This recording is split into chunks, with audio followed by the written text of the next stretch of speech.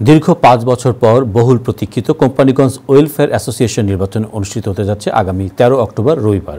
গত দশ এবং এগারো সেপ্টেম্বর রাত আটটা থেকে দশটা পর্যন্ত মনোনয়নপত্র বিক্রি এবং জমা পনেরো সেপ্টেম্বর রাত দশটা পর্যন্ত কার্যক্রম অনুষ্ঠিত হয়। এ সময় মনোনয়নপত্র বিক্রি হয় ছত্রিশটি এবং জমা পরে পনেরোটি। মনোনয়নপত্র বাছাই ষোলো, সতেরো সেপ্টেম্বর সকাল আটটা থেকে রাত দশটা পর্যন্ত। প্রার্থী তালিকা প্রকাশ সতেরো সেপ্টেম্বর রাত দশটা পাঁচ মিনিট পর্যন্ত।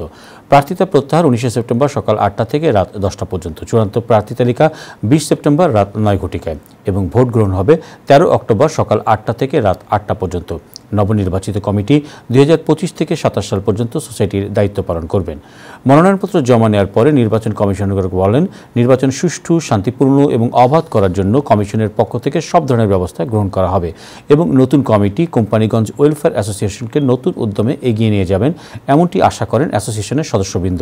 নির্বাচনে প্রধান নির্বাচন কমিশনের দায়িত্ব পালন করবেন মোহাম্মদ মুসা, অন্য কমিশনাররা হলেন Mohammad Abdul Shahid S M Mainuddin Mohammad A Jilani এবং নইমুদ্দিন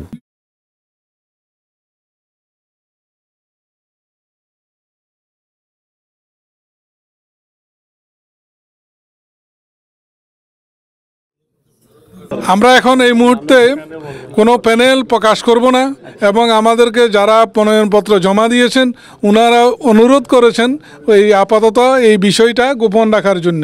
ওনাদের অনুরোধের পরিপ্রেক্ষিতে এবং আমাদের যাচাই বাছাইয়ের বিষয় আছে। যাচাই বাছাই করার পর ফাইনাল হলেই কেবলমাত্র আমরা আপনাদের কাছে এই প্রকাশ করব। এখন পর্যন্ত পনেরোটা মনোনয়নপত্র জমা পেয়েছি। আমরা বিক্রি করেছিলাম সতেরোটা সরি সৈত্রিশটা আমরা পেয়েছি পনেরোটা।